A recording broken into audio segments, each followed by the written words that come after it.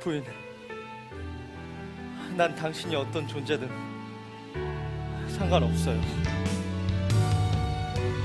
그대만을 바라보는 나를 알아요. 당신만을 사랑하는 나를 알아요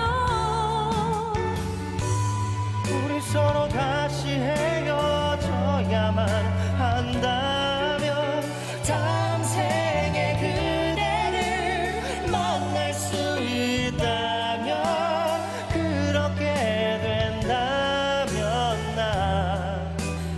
다시 그대를.